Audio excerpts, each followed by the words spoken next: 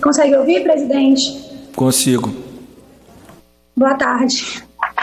Peço desculpa pela conexão que boa não está tão boa. Tá bom.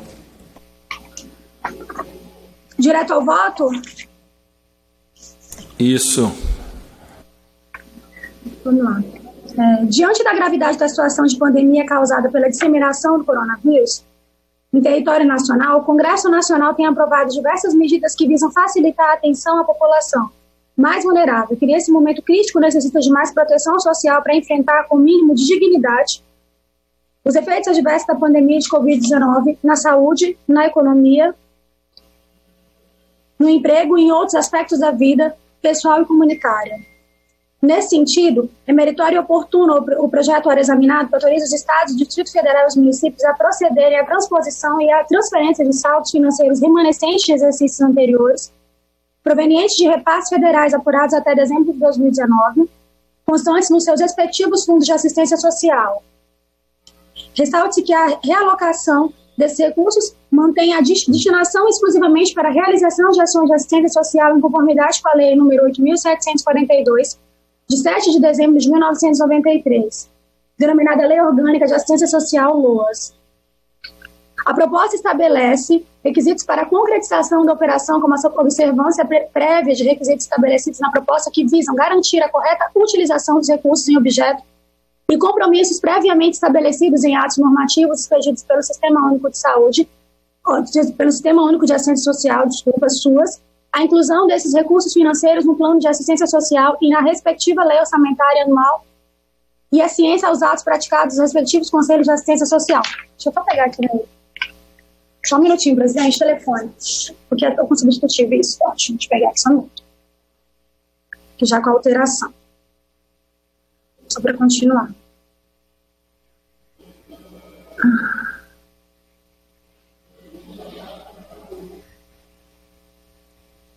Ressalte que a realocação desses recursos também mantém a destinação exclusivamente para a realização é, para a realização de ações de assistência social em conformidade com a Lei nº 8.742, de 7 de dezembro de 1993, denominada Lei Orgânica de Assistência Social, LOAS, atualmente por força da portaria do MDS número 103 de 2015, a aplicação dos recursos transferidos pela União por intermédio do Fundo Nacional de Assistência Social, aos fundos de assistência social dos estados, do Distrito Federal dos municípios deve ser organizada por bloco de financiamento, são eles. Bloco de proteção social básica, bloco da proteção social especial de média complexidade, bloco de proteção social especial de alta complexidade, bloco de gestão do Sistema Único de Assistência Social e bloco da gestão do programa Bolsa Família do Cadastro Único. Os artigos 30, 31 e 32 da portaria do MDS de 103 de 2015 prevê que a transferência dos saldos financeiros remanescentes de exercícios anteriores devem acontecer dentro do mesmo bloco de financiamento. Além disso, não é permitido a transposição entre os blocos de financiamento. A proposta estabelece requisitos para a concretização da operação como observância prévia de requisitos estabelecidos na proposta que visam garantir a correta utilização a correta utilização dos recursos em objeto e compromissos previamente estabelecidos, em atos normativos expedidos pelo Sistema Único de Assistência Social. A inclusão desses recursos financeiros no plano de assistência social e na respectiva lei orçamentária anual. E a ciência dos atos praticados aos respectivos conselhos de assistência social. Essa medida é fundamental para que os entes subnacionais possam fazer frente aos enormes desafios socioassistenciais decorrentes da situação ora vivenciada. Com efeito, as ações de assistência social desenvolvidas no âmbito do SUAS são necessárias tanto nesse momento para identificação e amparo imediato das pessoas e grupos em situação de maior privação socioeconômica, quanto na mitigação dos efeitos que a doença e a restrição de circulação de pessoas provocam nas condições de subsistência e bem-estar dessas famílias brasileiras. Segundo dados do Ministério da Cidadania, esses saldos remanescentes dos fundos de assistência social nos estados, no Distrito Federal e nos municípios, provenientes de repasses federais apurados até dezembro de 2019, totalizaria um montante de 1,5 bilhões de é, 1,5 bilhão e meio de reais, recursos importantíssimos para fortalecer a rede, a rede socioassistencial, ainda mais neste difícil momento, porque atravessa o Brasil. Importante ressaltar a recente publicação da Lei Complementar número 172, de 15 de abril de 2020, que autoriza a transposição e a transferência de saldos financeiros constantes dos fundos de saúde dos estados, do Distrito Federal e dos municípios provenientes de repasses federais.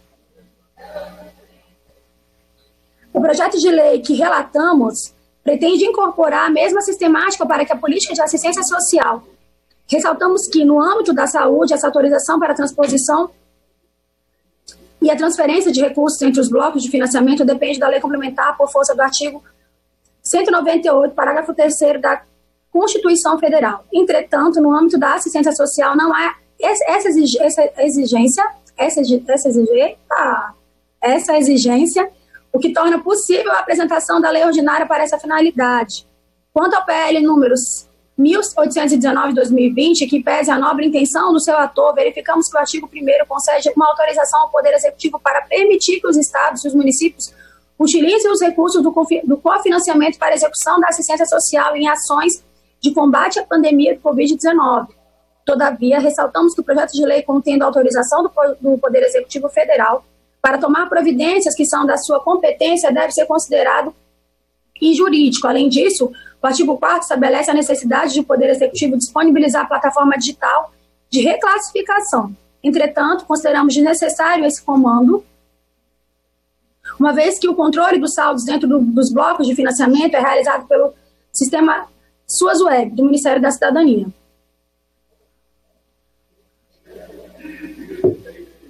Portanto, apresentamos um substitutivo de forma a esclarecer que os repasses financeiros são feitos pela União por intermédio do Fundo Nacional de Assistência Social, com base na sistemática definida pela Lei Orgânica da Assistência Social e que a, e que a transposição e a transferência será permitida entre os blocos de financiamento da portaria do Ministério do Desenvolvimento Social, número 103 de 2015, essa medida se faz necessária. Opa, vocês caem aqui. Essa medida se faz necessária. Hum, identificando os serviços e as atividades. É, tá conseguindo ouvir aí? Tá? Eu não sei se, porque é que tá. Será que. Estamos ouvindo. Tá dando certo? Tá ótimo. Pronto, Tamo a conexão ouvindo. não tá boa, gente. Desculpa. Pronto, pronto continuando. E é, vamos voltar aqui. Portanto, apresentamos um substitutivo de forma a esclarecer que os repasses financeiros são feitos pela União por intermédio do Fundo Nacional de Assistência Social, com base na lei sistemática definida pela Lei Orgânica de Assistência Social, e que a transposição e a transferência será permitida entre os blocos de financiamento da portaria do MDS, número 113 de 2015. Essa medida se faz necessária para dar maior agilidade aos gestores que sabem identificar as ações que neste momento necessitam de reforço financeiro, para fazer frente aos desafios de maior proteção social para grupos sociais mais vulneráveis. Acrescentamos no substitutivo uma contribuição feita pela emenda de plenário número 1, pois ela trata de uma questão muito relevante nesse período. Só segurar aqui. Nesse período.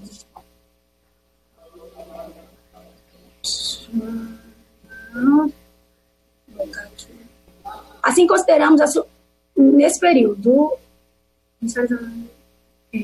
Ademais, as avaliações devem ser cotidianas para que os arranjos locais possam atingir mais prontamente os objetivos de proteção social, assim como consideramos que a suspensão de obrigatoriedade do cumprimento de metas dos estados, do Distrito Federal e dos municípios, pactuadas com a União, pelo prazo de 120 dias a partir do 1 de março deste ano, também é oportuna, devido à situação excepcional de pandemia do coronavírus pois o descumprimento das metas pode causar pode ser causa para a suspensão de repasses federais e os efeitos dessa pandemia na economia também vão resultar no aumento da população em situação de vulnerabilidade social. Ademais, cabe destacar cabe destacar que foi recentemente publicada a Lei nº 13.992, de 22 de abril de 2020, que suspende por 120 dias a contar de 1 de março do corrente ano a obrigatoriedade de manutenção das metas quantitativas e qualitativas contratualizadas pelos prestadores de serviços da saúde no âmbito do Sistema Único de Saúde. Antes exposto, no âmbito da Comissão de Seguridade Social e Família, somos pela aprovação do projeto de lei número 13.389 de 2020, do projeto de lei número 1819 de 2020, apensado na forma do substitutivo que apresentamos. Na Comissão de Finanças e Tributação, entendemos que o projeto em análise deve ser aprovado considerando a necessidade de se flexibilizar a utilização dos recursos dos fundos de assistência social, no âmbito dos estados, do Distrito Federal e dos municípios, para fazer frente às necessidades do Sistema Único de Assistência Social, diante do enfrentamento do Covid-19. Quanto à adequação orçamentária e financeira, verificamos que os PLs não resultam em aumento ou diminuição de despesas ou receitas públicas, não cabendo manifestação quanto à adequação e compatibilidade orçamentária e financeira, uma vez que uma vez que as proposições apenas financeiras apenas tratam da, desculpa, uma vez que as proposições apenas tratam da autorização para transposição ou transferência de saldos entre os blocos de financiamento ou recursos já pagos pela União no âmbito de cofinanciamento das ações do SUAS, aos fundos de assistência social nos estados do Distrito Federal e aos municípios. Quanto ao mérito, consideramos oportunos os projetos ora examinados, pois com, a, com, essa, com essa flexibilização, o Centro de Referência da Assistência Social, CRAS, e o Centro de Referência especializados de assistência social, os CREAS, poderão realizar a contratação emergencial de mais profissionais e capacitação dessa força de trabalho, bem como reforço nas suas ações e serviços. Antes do esforço, na Comissão de Finanças e Tributação, votamos pela não implicação em aumento ou diminuição de receita ou da despesa da União, não cabendo pronunciamento quanto à adequação financeira e orçamentária do projeto de lei número 300, 1389 de 2020, do projeto de lei número 1819 de 2020, apensado e do substitutivo da Comissão de Seguridade Social e Família. No mérito, pela aprovação do projeto de lei número 1389 de 2020 e do projeto de lei número 1819 de 2020, apensado todos na forma do substitutivo da Comissão de Seguridade Social e Família. Na Comissão de Constituição Justiça e Cidadania, somos pela constitucionalidade, juridicidade e boa técnica legislativa do projeto de lei número 1389 1089 de 2020, do projeto de lei número 1819 de 2020, apensado e do substitutivo oferecido pela Comissão de Seguridade Social e Família. Esse é o voto, presidente, e nós temos aqui o substitutivo. Como é que. Obrigado, deputado. A gente, a, gente, a gente segue com o substitutivo? Como é que você Já está apresentado, agora a gente vai fazer a discussão da matéria, deputado. Está online já, né? Na rede de todas as lideranças.